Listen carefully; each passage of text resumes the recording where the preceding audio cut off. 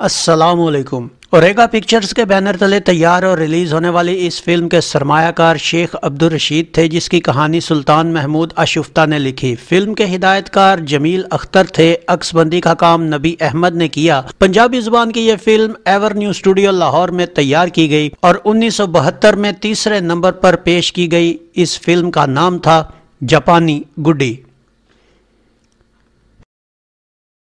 Film کے نمایاں اداکاروں میں یوسف خان، روزینہ فردوس، عقیل، تانی، منور ظریف، ساکی، فاضل بٹ، زرکا، نگو، خیام، فومی، مسعود اختر اور آغا دل راج شامل تھے۔ اس فلم کی کہانی کیا تھی؟ آئیے دیکھتے ہیں۔ فلم کی کہانی ایک گاؤں سے شروع ہوتی ہے، جہاں ایک ظالم جاگیردار، دارا اداکار فاضل بٹ غریب کسانوں پر ظلم کرتا ہے۔ اسی گاؤں کا ایک پڑھا لکھا جوان فضل اداکار عقیل دارے کے ہر کام میں اس کے ظلم کے خلاف کھڑا ہونے کے باعث دارے کو ایک آنکھ نہیں بھاتا۔ مگر عیاش دارا فاضل کی خوبصورت بہن زکیہ اداکارہ فردوس پر بد نظر رکھنے کی وجہ سے فضل کو کچھ نہیں کہتا۔ ایک دن فضل اور زکیہ کو اپنی ماں اداکارہ تانی سے پتا چلتا ہے کہ بیس سال پہلے وہ جاپان کے شہر ٹوکیو میں رہتے تھے کہ ایک دن ڈاکوؤں نے نہ صرف ان کے گھر کو لوٹا، بلکہ اس کے بڑے بھائی انور کو بھی اغوا کر لیا، جسے بچاتے ہوئے ان کا باپ قتل ہو گیا۔ یہ سن کر فضل اور زکیہ کی بے قراری بڑھ جاتی ہے اور فضل نہ چاہتے ہوئے بھی رہ نہیں پاتا۔ ماں کے منع کرنے کے باوجود وہ زبردستی اس کی اجازت لے کر اپنے دوست ساجے، اداکار منور ظریف کے ساتھ جاپان اپنے بھائی انور کو ڈھونڈنے روانہ ہو جاتا ہے۔ گاؤں میں دارا اپنی مدد کے لیے اپنے ایک بدماش دوست شادے، اداکار یوسف خان کو شہر سے بلاتا ہے، لیکن شادے کے ہر ظلم کے خلاف زکیہ اس کے سامنے آ کھڑی ہوتی ہے۔ ادھر ٹوکیو میں بے یارو مددگار فضل اور ساجہ ایک پاکستانی لڑکی نجمہ اداکارہ رزینہ کو گنڈوں سے بچاتے ہیں،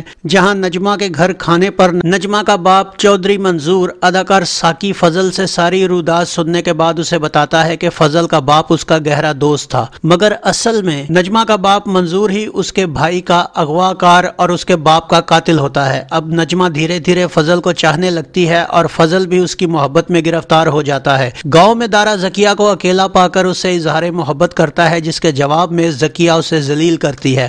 نجمہ کا باپ منظور فضل کے بھائی انور اداکار مسعود اختر، جس کا نام اب پرویز ہوتا ہے اور ایک چھٹا ہوا بدماش اور قاتل بھی ہوتا ہے، اس کو اپنے بندے جیکب اداکار فومی کے ذریعے بھڑکا کر فضل سے لڑوا دیتا ہے۔ مگر فضل پرویز سے مل کر ایک اپنائیت سی محسوس کرتا ہے۔ پرویز کو فضل سے مار کھاتا دیکھ کر چودھری ان دونوں میں بیچ بچاؤ کروا دیتا ہے۔ گاؤں میں دارا شادے کو لے کر زکیہ کے گھر اس کی ماں سے رشتہ مانگنے آتا ہے، مگر اس کی ماں کے سخت انکار کے بعد اسے زکیہ کو اٹھانے کی سنگین دھمکیاں دے کر چلا جاتا ہے۔ جاپان میں چودھری منظور، فضل اور ساجے کو دھوکے سے اپنے گنڈے جیکب کے پاس بھیجتا ہے اور نجمہ بھی ان کے ساتھ چلی جاتی ہے۔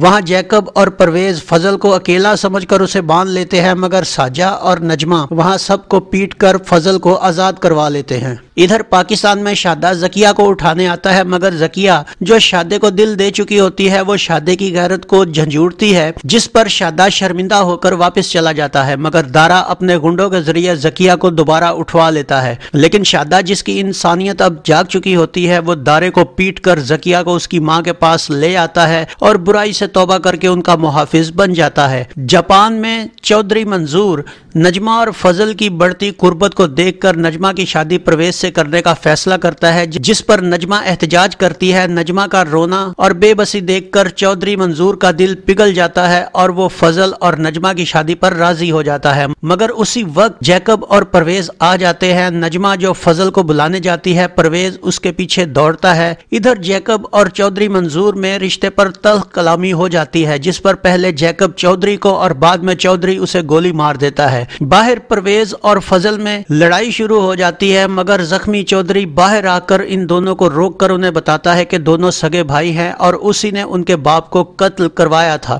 مرتے وقت چودھری نجمہ کا ہاتھ فضل کے ہاتھ میں دے کر اسے پاکستان میں اس کے سگے بھائی باغ علی کو ڈھونڈنے کا بھی کہتا ہے۔ ادھر دارا اپنے ایک ڈاکو دوست باگو کے ذریعے زکیہ کو پھر اغوا کروا لیتا ہے، مگر شادہ موقع پر پہنچ کر نہ صرف انہیں مارتا ہے بلکہ باگو اداکار خیام کو چونک میں الٹا لٹکا کر اسے مارنے ہی والا ہوتا ہے کہ زکیہ اور اس کی ماں باگو کی جان بخشی کروا دیتی ہیں۔ زکیہ اور شادے کی شادی طے پا جاتی ہے اور اسی دن فضل، ساجے، انور اور نجمہ کے ساتھ واپس آ جاتا ہے۔ اب دارا باگو کے ساتھ مل کر شادے کی برات روک لیتا ہے۔ فضل اور انور بھی وہاں پہنچ جاتے ہیں اور لڑائی شروع ہو جاتی ہے۔ اسی لڑائی میں باگو نجمہ کو اٹھا کر لے جاتا ہے اور وہیں نجمہ کو پتا چلتا ہے کہ باگو ہی اس کا بھائی باغ علی ہے۔ یہ جان کر کہ نجمہ اس کی بہن ہے، باگو کی دنیا بدل جاتی ہے اور وہ نہ صرف اپنے ساتھیوں بلکہ دارے کو بھی مار کر نجمہ کو شادے کی بہن بنا کر جیل چلا جاتا ہے اور یوں فلم کا اختتام ہوتا ہے۔ ناظرین، ایک انتہائی زبردست اور مکمل فلم۔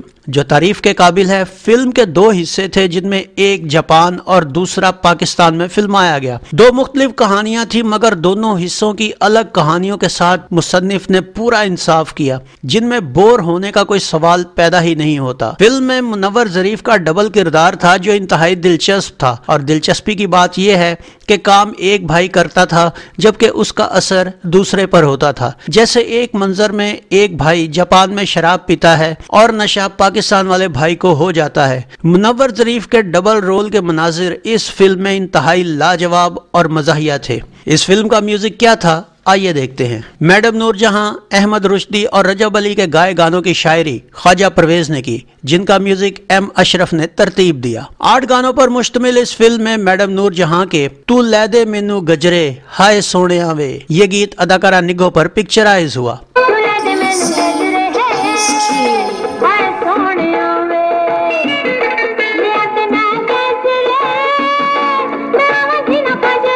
چھن چھن چھنک وے چھنکنیاں یہ گیت اداکارہ رزینہ پر عکس بند ہوا۔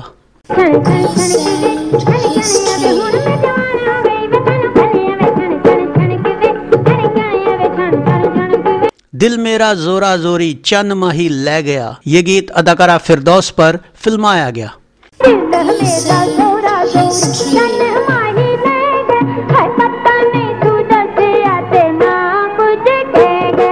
وڈیا کالیا تھوڑی دیر ٹھہر جا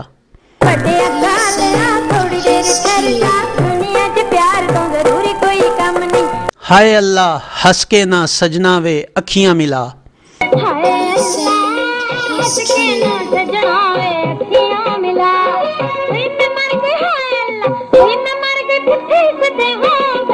احمد رشدی کا نئی ریساں نئی ریساں پاکستان دیاں یہ گیت اداکار منور ظریف پر شوٹ ہوا۔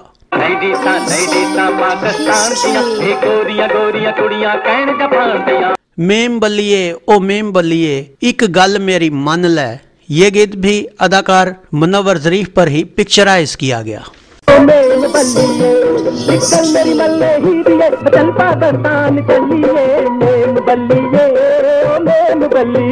میڈم نور جہاں اور رجب علی کا دل تیرے نال لایا پیار دا سواد آیا۔ یہ گیت اداکارہ رزینہ اور عقیل پر عکس بند کیا گیا۔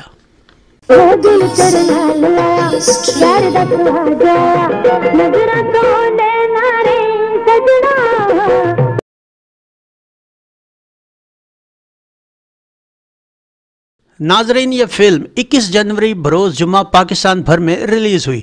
کراچی میں اسے کیسر نگینہ کراؤن، نایاب، حیدرآباد کے شالیمار راول پنڈی کے ناویلٹی ریالٹو، فیصل آباد کے نادر، ناز اور لاہور کے کیپری میں نمائش کے لیے پیش کیا گیا۔ اپنے اپنے شہروں کے سینماؤں کی معلومات دینے پر ہم جناب بلاول حق قدیر رانا رشید ناز، محترمہ کوثر بخاری اور زوار کامریڈ کے مشکور ہیں۔ جیسا کہ میں نے اوپر بتایا کہ فلم میں کسی قسم کا کوئی سکم نہیں تھا۔ اداکاری پکچرائزیشن اور کہانی کا معیار انتہائی اعلیٰ تھا۔ یہی وجہ ہے کہ اس فلم نے سال کا دوسرا ہٹ درجہ حاصل کیا اور انیس سو بہتر کی شاندار فلموں میں اپنا نام لکھوا لیا۔ تو یہ تھا فلم جاپانی گڈی کا ایک مکمل ریویو۔ امید ہے آپ کو ہمارا یہ ویڈیو پسند آیا ہوگا۔ ویڈیو پسند آیا ہو تو اسے لائک کیجیے، کمنٹس باکس میں اپنی رائے کا اظہار کیجیے اور اس ویڈیو کو شیئر کیجیے۔ اس کے ساتھ گلفام کو اجازت دیجیے۔ اگلے ویڈیو میں ایک نئی فلم کے ریویو کے ساتھ آپ کے سامنے دوبارہ حاضر ہوں گے، اپنا بہت سا خیال رکھیے گا۔ اللہ آپ کا حامی و ناصر ہو۔ اللہ حافظ۔